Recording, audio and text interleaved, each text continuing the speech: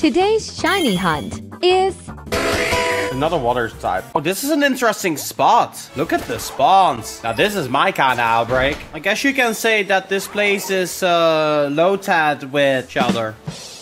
Oh, oh, oh, oh, oh, I thought, okay, dude, I need to pay attention. I thought it was a shiny uh, freaking Qwilfish for a sec there.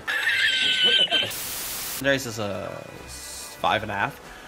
Oh. Bonk. Wait, wait, wait, wait, wait, wait, wait, wait, it's here. Oh, let's freaking go. That looks amazing. This is the best version of Shiny Cloyster. I never expected Cloyster to be walking like this. This is really goofy.